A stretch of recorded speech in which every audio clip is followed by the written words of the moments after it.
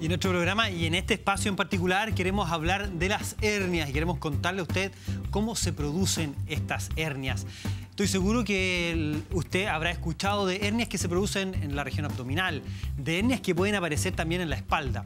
Pero ¿qué son? ¿Por qué se producen? Se lo contamos hoy día. Pero en este segmento, donde usted ve que estoy acompañado acá de un fantoma y de unos globitos, necesito un ayudante, alguien que me ayude a explicarle a usted en forma muy clarita por qué se producen las hernias. Así tenemos la posibilidad de una ayudante. Adelante, pase nomás. Ojalá que la persona que entra. Buenas tardes, permiso. Eh, yo venía. ¿Qué hace usted aquí? No, ¿qué, qué, qué? ¿Cómo que qué hace usted aquí? Ah, Yo trabajo acá. doctor, ¿en casa el mismo número? No, no, pero... Sí, pues es la casa. Ay, pero Dios Alberto, me castiga, espere, espere, me dice sí. Alberto, Alberto, ¿de qué hace así si usted viene para... para... Doctor, Vamos a sacar así. Que... Oiga, Luis Alberto, usted viene a un segmento que es de actividad física y ejercicio. Sí. No es este día y no es esta hora. Sí, sí, La gente está confundiéndose. Doctor, ¿Y qué hace usted? no se vive completamente. Ah, no sé Entonces yo hago unos bolitos por ahí. ¿Y si no le pagamos mal? Claro, doctor, no vamos a entrar en esos detalles, pero yo le voy a decir simplemente, déjeme cometer mi trabajo Cometer. Sí, cometer. Que tiene que ver lo, lo, que traerle sus cuentas, porque ahora yo, bueno, estoy haciendo de cartero, doctor. ¿Está de cartero? Y estoy aquí, a ver, ah. déjeme, porque hay una parece que está aquí. Ay, por cierto, me doy las espalda. Ay, doctor, no sé por qué, pero. Pero bueno, acá están unos sobres que a usted le corresponde. ¿Ya? Parece que este es el pero principal para usted. ¿Tantas cuentas tengo que pagar? Doctor. ¿Qué? Este parece que viene directo para usted. ¿Sobre azul? Sí. Usted lo tiene que revisar bien, no se lo voy a decir por qué, pero bueno, revíselo bien. A ver, revisémoslo porque ya realmente... Ay, por Dios, lo que le espera. No, ya, gracias. qué lindo. gracias. Usted, usted siempre trayendo tan buenas noticias. Justo ahora que quiero explicar algo tan interesante como la hernia. Sí, pero Bueno, pero ve... ¿Le duele la espalda? Se la espalda porque mira, el medio bolso que todo el día tengo que estar cargando. Oh, uy, pero está pesado. Sí, sí, sí, pero por supuesto. Son muchos oh. sobres que tengo que entregar. Uy, pero ¿qué, está, ¿qué lleva en ese bolso, hombre? Pero llegó justo. Sí, ¿por qué? Porque vamos a hablar también de la columna. ¿Me a explicar de eso? Sí, pero venga, venga. porque el doctor me dijo que tengo una hernia en el núcleo pulposo. ¡Ese mismo! Ese mismo, en el núcleo culposo. Sí, el núcleo culposo. ¿Me explicar dónde Culposo será en su caso. Sí, culposo. Culposo, por traerme esas noticias. No, yo le explicaba, le decía al doctor, ¿me podría explicar dónde está el núcleo culposo? Pulposo. Ah, yo le explicar. Pero antes vamos a hablar de las hernias, ¿le parece? Bueno, Entonces usted me va a ayudar en una demostración que vamos a hacer aquí. Siempre tengo que ayudarlo. Siempre me va a ayudar. Muy bien. Pero mire, fíjese, vamos a explicar primero lo que es una hernia. Una hernia, ¿no es cierto? Sí. Se produce cuando un tejido, cuando un tejido, ¿no es cierto? Que soporta una estructura, que contiene ciertas estructuras, cede en su capacidad de contención. ¿De acuerdo? Vamos a ver una imagen. y en la imagen que tenemos ahí, vemos la zona del, del, abdomen, ¿no es cierto? Ve que se está abriendo un pequeño agujero ahí. Ya, perfecto. ¿Se da cuenta? Porque los músculos, en ese caso, que son de la pared abdominal, han cedido por distintas razones, Luis Alberto, han cedido. Ya las vamos a explicar. Y fíjese lo que pasa ahí. El intestino empieza a asomarse por ese orificio herniario. Así se llama. Ya, orificio herniario. Muy bien, muy bien. Y por ese orificio herniario, donde los músculos hicieron una diástasis, se separaron, ¿no es cierto? Empieza a aparecer de a poquitito, de a poquitito el intestino. La piel que está arriba forma un globito, como lo vimos en la imagen, ¿no es cierto? perfecto. Y eso es la hernia. Entonces la, dice, la gente dice, ¿Qué tengo dentro de la hernia? Lo que tengo asomándose son eh, pedacitos del intestino, segmentos del intestino. Muy bien. Es dramático porque hay casos, ¿no es cierto?, donde el contenido herniario, a mí me tocó ver un paciente que tenía toda la guatita, toda la pancita, casi la mitad de los intestinos afuera en este contenido herniario. Piensa tú, Luis Alberto, que eso es solamente la piel. Es la piel, un poquito de grasa y ya no están los músculos que contienen tu eh, tu intestino dentro. ¿De acuerdo? Me asusta, doctor. No nos asuste, pues. No, no, se asuste. Porque es algo complicado. Porque en ese, en ese caso salió todo. Ahora, ¿es peligrosa una hernia? Sí puede ser peligrosa en el tiempo. ¿Por qué? Porque cuando por ese pequeño agujerito sale un pedacito de intestino hacia afuera, ¿no es cierto?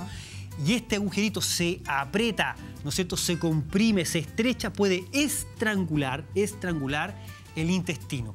Y si estrangula ese pedacito de intestino, ese intestino se inflama, se infecta, se perfora y puede terminar una peritonitis y la peritonitis puede terminar finalmente en la muerte de ese paciente. Pregunta. Pregunta. Diga, Pregunta Eso, eso que se, esa fisura que, lo que estamos viendo aquí lo que estamos viendo, ¿causa un dolor? Claro que sí, claro Pero que muy sí. intenso o algo que me avise por decir, oh, tenés Muy buena pregunta. como el que yo tengo en este etapa- momento. que- en etapas iniciales, en etapas iniciales, Luis Alberto, Sí. puede haber una hernia asintomática. Tú no sientes ningún dolor, no tienes ninguna molestia, porque lo más probable es que la dilatación sea muy pequeñita. En el caso del abdomen no sale todavía contenido intestinal, Perfecto. por lo tanto no hay una mayor inflamación, no hay mayor dolor. ¿De acuerdo? Oh, en de en acuerdo. algunos casos, los médicos hablamos de hallazgo, es decir, las encontramos porque estamos haciendo un examen físico o hizo una, una- un, una- un examen de imágenes, por ejemplo, una ecografía, un escáner, y se dio cuenta que estaba esa hernia que no estaba, eh, no tenía síntomas directamente. Pregunta, ¿De acuerdo? Muy bien, pregunta. Este tipo de, de- de fisura, vuelvo a insistir, como vimos la imagen, ¿eh? Eh, ¿es causado por una mala fuerza, alguna situación que nos obliga a tener eso? ¡Qué buena pregunta, Luis Alberto! me preparé, ¡Qué buena pregunta! La hace bien ser cartero y llevar carta, harta ideas que tiene ahí. ¿Qué me Pero muy bien. Fíjese que tiene toda la razón. Sí, ¿sí? Ya. Absolutamente. Y lo, y lo vamos a explicar. Sí, Guarden sí, la pregunta, porque lo, lo vamos a explicar Después. a continuación. Sí, pero, pero acuérdeme. Mire, porque primero quiero que usted me acompañe con esta demostración. Vamos a poner aquí a nuestro Ya. querido monito. Perfecto. Y usted tiene acá, Luis Alberto, y la gente que está en la casa también Sí. nos puede acompañar para empezar a entender dónde pueden estar las hernias. Fíjese, Perfecto. tiene globitos, viene Ya. con un adhesivo y usted tiene que ir poniendo eso en la zona donde usted piense que aparecen Doctor, las eh. hernias en el cuerpo humano. Perfecto. A ver, vamos a ver. Eh, eh, a ver, pero doctor, ¿puede, puede salir una hernia entre las piernas aquí? Ya, ponga primero, no, no. Ya. Vamos a hacer, ponga todos los globitos que Ah, quieran. pongo todo. ¿Sí? Ah, donde Le quiera. damos un tiempo, Dale, eh, el dale, reloj va a empezar a perfecto, correr ahí. Totalmente. Bueno, es que no, Ahí está el no tiempo. otra parte. Aquí. Está el tiempo, Aquí solamente está- tiene Perfecto. 40 ¿Cuánto? segundos para poner, si no, va a perder el auto cero kilómetros que tenemos hoy de premio. Vamos a rellenar aquí, a ver, aquí. Sí, aquí no, pero- que tenga la lógica. Bueno, pero yo más o menos. No, pero siga, siga, siga, Sigo, que estamos en el tiempo, estamos en el tiempo. Bueno, pero eso usted no lo va a ver, pero. Y las personas en la casa también pueden participar y pueden también empezar Ahí, a pensar muy bien. dónde pueden salir las hernias. A ver, Ahí está ¿dónde? los globitos. Otra parte. ¿Dónde puede salir? Aquí, ahí, ahí, ahí puede, puede, puede ser. ¿por qué Ya, no? sí, no, claro. intentemos, intentemos. Claro, bueno, sí, aquí, aquí en la colita, entre medio, aquí, eh, justo el de lo donde lo tengo, el núcleo culposo. Sí. Entonces, ¿cómo era? Perdón. Pulposo, Ah, pulposo, pulposo, es de pulpo- pu. Ya, pulposo. perfecto, perfecto. Es ¿Por qué pusimos tanto globo? Ok, ya. Dale, ¿Dónde otro- más? ¿Dónde más? ¿Sí? Aquí, entre la cadera, aquí. Ya. Aquí la cadera, esta cadera. Por cierto, tiene cadera muy chica esta cosa, pero bueno, da lo mismo. Ya. Listo. Por ahí, doctor. ya. ¿Usted cree? Sí, bueno, espérate, espérate, una más, ah, una no, más. acá estar parece- con pegamento. Una más, Una más, sí, ¿dónde? Una más, ¿dónde, dónde? A ver, ¿dónde? Acá, acá, en el otro lado del cuerpo, pero aquí como entre el hombro y el hueso. Ya. ¿Entiendes? Ahí. Ya, listo. Perfecto. Ya, perfecto. Ya, Luis Alberto. Sí. Ok, ¿terminó el tiempo? Muy bien. Terminó el tiempo. Ya. Terminó el tiempo y vamos a ver todo lo que puso usted. Vamos a ir corrigiendo. Ojalá. Entonces, vamos a hablar, Luis Alberto, vamos a hablar de las hernias que están en la pared abdominal, ¿de acuerdo? En la parte anterior de nuestro organismo, en la Listo. parte, ¿no es cierto?, que está en todo lo que circunda el ombligo, en la zona Claro. central. De acuerdo. Las hernias más frecuentes son las que están en la zona media, muy frecuentes en la zona media, donde esto vamos, vamos a pensar que está un poquito más abajo, que está a nivel del ombligo, ¿ya? Lo vamos a correr. Perfecto, ya. Entonces, hay una hernia que se llama hernia umbilical. La hernia umbilical tiende a aparecer Sí. con mayor frecuencia cuando eres muy pequeñito. En los niños, ¿no es cierto?, recién nacidos. Tú sabes que el cordón umbilical tiene que reabsorberse. Así ¿no es cierto? Y después desaparece absolutamente ese, cordón- ese vestigio de cordón umbilical y queda tu ombliguito. Cuando uno es muy pequeño, ¿no es cierto?, los primeros años puede aparecer una pequeña hernia umbilical que se opera cuando uno es pequeño y lo operan los cirujanos especialistas que son cirujanos infantiles, ¿de acuerdo? Pero, no obstante, en el tiempo podría salir, sobre todo en personas, por ejemplo, que son muy gorditas, que son muy obesas, de repente podría aparecer una hernia por ahí porque la pared es un poquito más débil, ¿ya? Entonces, débil, vamos- dijo? Ahí. ¿Más Por débil? Más débil, sí. ¿Y Ahí ¿Eso está, tiene que ver con, con- con, eh, con los músculos que tenemos en este sector? Exacto. En la zona media, y a propósito de lo que usted dice muy bien de los músculos, ¿no es cierto? Tenemos una zona media que también es muy fácil, donde pueden aparecer eh, hernias. Por lo tanto, vamos a poner otro globito, voy a sacar alguno de los que puso acá medio raro. Bueno, porque, por ejemplo, por, por ejemplo, el que está aquí en el cuello no existe. Ahí, ese, ese- por lo menos ahí no, ¿ya? Error. Entonces, error. Entonces, la zona media, vamos a poner acá, en la Ya. zona media de nuestro abdomen también pueden ha- haber hernias. Mm. Tenemos hernia umbilical, hernia en la zona media. De las que están acá abajo, ¿no es cierto? Voy a sacarle una, esta nada que ver ahí. ¿Tampoco? Pero- tampoco. Pero esta que está acá está buena porque es la hernia inguinal. También muy frecuente en los niños. Sí, hernia sí, sí, inguinal. Se confunde mucho con tendinitis. Muchos deportistas, muchas personas que empiezan a tener dolores en las zonas inguinales o a nivel del pubis, que se llama pubalgia eso, tienen bastante dolor ahí. Y una de las cosas que hay que hacer el diagnóstico diferencial justamente que no está apareciendo una hernia en esa zona, en la zona inguinal. Entonces tenemos perfecto. zona inguinal, región inguinal, Perfecto. las umbilicales y las de la zona media en general, que se dan, en, se dan en personas que son muy gorditas, ¿no es cierto?, que están con los kilos muy pasados y donde la musculatura empieza a ceder. ¿Ya? Muy bien. Ya, me quedo Sigamos, clarísimo. sigamos en esa zona y vamos a subir. Vamos a empezar a subir un poquitito. Ok, ok. En los pulmones no existen hernias, ¿de acuerdo? Pero puede, o sea, pueden haber, pero traumáticas. Estamos hablando Ya. de hernias que pueden aparecer de las más frecuentes. Existe una hernia que se llama yatal. Hernia qué? yatal. Yatal. Hernia yatal. Acá está el diafragma. Mira, fíjate que eso, eso blanquito que está acá. Sí, acá están los pulmones, ¿no es cierto? Pulmones. Acá está el corazón, que lo estoy mostrando ahí. Acá está el diafragma, acá el hígado, acá el estómago. Hígado, estómago. Si nosotros vamos mirando un poquito para acá, vamos a desarmar el mono. Le vamos a sacar el corazón. ¿Es necesario? Sí, vamos a sacar Se va a cosas. morir. Tome, tome, tome, dale. Fíjate que acá, acá hay un tubito que está acá, en esta zona de acá, Sí, perfecto. que es, ¿Lo que, podemos ver que es, A ver. Sí. que es el esófago, ¿de acuerdo? Vamos a ir para allá, vamos a ir para allá. Ahí lo podemos- ¿Ya? Sí. Que es el esófago, espérame, ahí está, que es acá. En ese agujero que está aquí, Sí. donde entra el esófago, el esófago hay un hoyito aquí. Ya. Ese esófago entra y llega al estómago que está acá abajo. Ahí está el estómago, mira. ¿De acuerdo? Ese agujero, ¿no es cierto?, en algunos, en algunos pacientes, en algunas personas, puede abrirse un poquito más y parte del estómago subir por ese pequeño agujerito donde solamente tiene que pasar el esófago. Por ahí solamente pasa el esófago. Ya, perfecto. Si pasa un poquito de estómago, estamos diciendo que hay una hernia del estómago o de un segmento del estómago, a- estómago hacia arriba. ¿De acuerdo? Perfecto, de Eso acuerdo. es la hernia yatal. Después de haber desarmado el monito, la vamos a poner por acá adentro. ¿Ya? Ya, perfecto. Eso es interno. Jamás iba a llegar hasta ahí, doctor. Está en la parte superficial un poquitito. ¿Le ponemos el corazón al ¿De pobre acuerdo? monito? Exacto. Ya. Ah, le ponemos el corazón. Sí, sí, se puede. Ya. Entonces, Luis Alberto, ¿va bien hasta ahí? Ya, hasta ahí estamos. Perfecto. ¿Está bien hasta ahí? Perfecto. Tenemos, hay otra que puede ser complementaria, la más frecuente, una muy frecuente es la inguinal. Hay otra que es femoral, la vamos a poner abajito también, para señalar que existe una inguinal y una femoral. Inguinal, femoral, umbilical, de la línea media, Ya, ¿no es cierto? perfecto. Y la yatal, en la parte de adelante. Hay Muy otras bien. etnias que las voy a mencionar solamente que son las incisionales. Ya. ¿Dónde están esas? Incisionales. Sí. Ya. Por ejemplo, usted se operó, Luis Alberto fue, se operó, le hizo una cirugía, por ejemplo, esto se da mucho con las cirugías antiguas que tenían grandes incisiones. Ya. Por ejemplo, el apéndice o la vesícula. La vesícula que- tenía, tenía una gran incisión en la pared abdominal, por lo tanto era fácil Perfecto, que ya. después de que el cirujano pasaba los puntos, hacía la sutura de esa herida quirúrgica, Sí. en el tiempo y por distintas razones, de cicatrización, de, de eventualmente infecciones, pacientes que eran muy gorditos, muy obesos, los tejidos empezaban a separar por dentro y formar una hernia.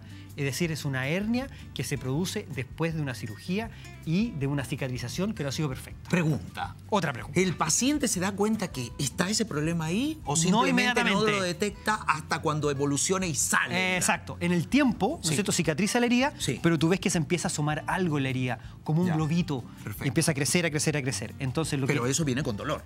Eso a ese nivel viene con dolor. Muy bien. Todo lo que estamos hablando aquí, ¿no es cierto?, tiene una resolución quirúrgica. Se operan las hernias, ¿de Ya. acuerdo? Se operan para poder juntar esa pared y que quede totalmente sellado ese espacio. Bien, Perfecto. vámonos a la espalda. A la espalda. Y en la Muy bien. espalda- Sí, sí, vi que yo, yo lo hice Ya. perfecto ahí, parece. No, súper. Ojalá. No existen hernias del hombro. No, no existe. No. Pero aquí entre el hombro y el cuellito, No. ahí, ahí tampoco. A ver, vamos, vamos a aclarar las Cuarto cosas. error. Vamos a aclarar las cosas. En la columna está bien, porque Sí, usted. en la columna. en la columna está bien. Por supuesto. Pero Sí. mira, fíjate, Luis Alberto. Sí. Las hernias se producen en la columna en dos segmentos que son los segmentos más móviles que tenemos en nuestro cuerpo. Ya. Los segmentos más móviles son la columna cervical, ¿no Perfecto, es cierto? sí. Usted puede decir, diga sí, haga Sí, sí. sí, sí, por diga no. Sí, sí. No. Diga no. No. Está tieso. ¿ah? Uy, No, como no, yo no, cuando no, bailo. porque. Ya. Mire, Lo acertó. entonces, puede haber una hernia cervical, Ya, ahí sí, ahí. torácica, a este nivel no existen porque este segmento de la columna es rígido, es muy firme. ¿Sabe por qué? Pero pregúnteme por qué. Sí, sí, sí, pero por, por casualmente, ¿por qué? Porque mira, si aquí está la columna, Ya. podría ser que la hernia se forme ahí entre una de las vértebras de la... ¿Por qué no? Pero mucha que es duro usted, Pero hombre. bueno, yo estoy preguntando en mi desconocimiento total. pero si le estoy diciendo que lo más frecuente es que sea cervical y lumbar, Ya. porque son los Ah, segmentos más móviles. Pregúnteme por qué este segmento no bueno, está ¿por móvil. qué no, doctor? ¿Por Eso, qué? Ya que tanto me hiciste, ¿por qué? ¿Por qué? Porque es un segmento Sí. que estabiliza la columna y donde está todo, todo lo que está acá son órganos muy importantes que están protegidos por las costillas, la parrilla costal. Esa parrilla costal, las costillas, ¿dónde llegan? A la columna, ¿no es cierto? Y arman un, un verdadero armazón, ¿no es Ah, cierto? En esta zona. ya, ya, Por lo ya. tanto, es un segmento que es mucho más, eh, mucho más estable, mucho más rígido. Tiene movilidad, pero nunca la movilidad que tiene la columna cervical y la columna lumbar. Como tienen más movilidad, ¿no es cierto? Tienen más propensión a ser traumatizadas, ¿no es cierto? A ser sobreexigidas. Eh, Vamos a aplicar el mismo principio que aplicamos para la pared abdominal. El disco que está entre una vértebra y otra, y si tenemos una imagen ahí nos podemos apoyar, el disco que está entre una vértebra y otra tiene en su centro un líquido, como un gel. Ya, como, unos, como los chicles, que esos que tienen un centro Perfecto, líquido. centro ya. líquido, perfecto. Mira la imagen. Ya, ¿Ve la imagen? Sí, sí, sí, Lo que está en azul, lo que está en azul es el disco intervertebral, un disco que está entre una vértebra y otra. Perfecto. Ese disco, ¿no es cierto? En su interior tiene un gel, es líquido, ¿de acuerdo? Cuando la pared, cuando el disco empieza a fallar, producto de un trauma, de malas posturas, de ejercicios mal hechos, de bailar muy mal, de exigirse mucho, etcétera, etcétera, eh, eh, ¿usted me va entendiendo? No, no, totalmente. Ok, ese disco empieza a fallar y lo que hace es que sale un globito, Sí. ¿no es cierto?, de ese disco. Ese globito que sale podría comprimir la raíz nerviosa y producir lo que se llama lumbociática, un dolor irradiado hacia las piernas, o solamente salir un poquitito pequeño, un poquito muy, muy chiquitito, salir poquito Ya. e irritar la raíz nerviosa y también producir sintomatología irritativa y dolorosa. Pregunta. Pregunta. Cuando usted hace ese, ese, esa- ese movimiento que dice usted y, y se irradia el dolor en una de las piernas. Ya. O sea, porque ¿Hacia mucha abajo? gente, esto es fre- frecuentemente los centros deportivos siempre me preguntan lo mismo. Me dicen, tengo un dolor en esta pierna y de repente puede ser irradiado porque hay un problema precisamente en la zona de la columna. ¿o Exacto. Estoy equivocado? No, está bien, está bien, está muy bien. Porque esta hernia que entonces- sale aquí, ¿no es Claro. cierto? Que este, como globito, no de la hernia, este globito va a comprimir la raíz nerviosa que pasa por al lado. Perfecto. Y al comprimirla, la irrita, la inflama y eso hace que el dolor se hacia abajo. Claro. O sea, como una corriente. Puede ser a cualquiera de las ambas piernas. Bueno, o de- a una exacto. sola, Depende Vale. si la hernia sale hacia allá o si la hernia sale hacia acá. No sé, esto sale a la izquierda o sale a la derecha. Muy bien. Lo mismo, Luis Alberto, pasa en la zona acá. Muy bien, arriba. perfecto. ¿De acuerdo? Sí. Ya. Eh, me gustaría que me pregunte entonces si verdaderamente con ¿Yo le la pregunto a usted fuerza. No, pues pero sí, déjeme preguntarle si con la fuerza que me dijo que después se Ah. acordara. Ah, ya. Con una fuerza mal hecha, ¿me puede salir una hernia? ¿Fue una fuerza mal hecha le puso Sí, una sí, hernia? por supuesto, ¿Una por hernia? Sí, por- por supuesto. Podría salir, pero no basta un esfuerzo mal hecho. Esto Sí, es la consecuencia de, de actividades reiteradas que están En mal hechas. Por ejemplo, las Ya. personas que levantan peso, ¿no es cierto? Sí. Y no se preocupan de doblar sus rodillas para Claro, o tomar sea, el peso. Y lo hacen constantemente. Las personas Claro. que andan en moto, por ejemplo, que andan, hacen estas moto enduros, por ejemplo, que Sí. andan por los cerros y que saltan y saltan y saltan. Y cada vez que caen en el asiento van golpeando la zona de la columna, Ah, ¿no es cierto? Y van dañando Muy bien, justamente los discos. Por eso un equipamiento, obviamente, va a disminuir ese impacto. Claro, o ¿Se sea, una zona reiterativa constantemente crea este problema, entonces, eh, en el caso de la hernia. ¿no? Viene a salir y se frota, o sea, se, se abre y sale este, este, este globito, como le podemos decir, Exacto. y causa dolor. Exacto. ¿Cuándo hay que ir al médico? ¿Cuándo ir al médico? pasa o cuando ya empiezas Cuando a... empiezas inmediatamente con los síntomas, si usted tiene síntomas de dolor en la espalda, Me tengo que ir ese dolor en la espalda empieza a irradiarse hacia la pierna, le toma la pierna, usted siente que es como una corriente, estamos hablando de una lumbociática. Y lo que tenemos que descartar los doctores es que usted no tenga una hernia que esté comprimiendo un nervio. Ahora, no me ha preguntado por el tratamiento de esto. Ah, sí, sí, sí, por supuesto. Dígame cómo, porque me tengo que ir ya porque me Ah. está doliendo una espalda y me duele la pierna. Dos Entonces, grandes tipos de tratamiento. Tratamiento médico, 80%, 70-80% de las hernias pasan médicamente. ¿A qué me refiero con eso? No tratamientos quirúrgicos, médicos. Kinesiología, reposo, faja, cambio de hábitos de higiene de la postura. Con eso, lo más probable es que un 80% mejore. Si son hernias que están comprimiendo mucho la raíz, que se llaman extruidas, es decir, que salen y bajan y comprimen mucho las raíces, donde hay pérdida de sensibilidad, pérdida de movilidad, lo más probable es que la solución sea inmediatamente quirúrgica. Pero lo- la cirugía se reserva para algunos casos, no para el 100% de los casos. 80% porque- de resolución médica. Ok, si no hay cirugía, entonces, ¿cuál sería el otro tratamiento? ¿Tratarlo, digamos, Con descansarlo? kinesiólogo, eh, kinesiólogo, cambio de las actividades deportivas, cambio de las actividades laborales, ¿no es cierto? Que hablamos de un reposo, pero un reposo relativo, ¿de acuerdo? Y kinesiología, para poder desinflamar esa hernia. Y hoy día las técnicas, si tiene que llegar lo quirúrgico, las técnicas quirúrgicas hoy día están hasta laparoscópicas, es decir, hasta se puede operar con una pequeña incisión, con una cámara y llegar directamente a operar la hernia.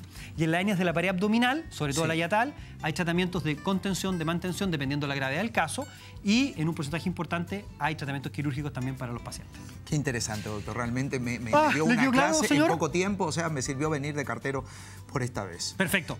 Oiga, Dígame. eh, vamos al doctor. po. Hay un doctor que está Sí, acá al sí, sí, déjeme ir, doctor. El Sí, problema- tengo yo un solo problema que- con eso. ¿Cuál? No me puedo mover porque me duele la espalda y esta pata me está, perdón, la pierna me está doliendo. ¿En serio no se ¿cómo puede mover? hacer? Sí, por eso Pero, le ah, pregunto. Siéntese ahí, pues, siéntese ahí. Vale, ¿me tengo que sentar? Sí, sí. ¿Es Oiga, usted, necesario, usted, doctor? usted se... Doctor, yo soy bailarín, pero de repente parece que el movimiento va pero usted- se ha- revés, usted se ha efectivamente. deteriorado harto, ¿ah? Sí, no, Con el ¿cómo tiempo. No, pero, No, se- no, pero se ha deteriorado. Siéntese, no, siéntese. siéntese, ¿Es necesario? Siéntese, siéntese, siéntese.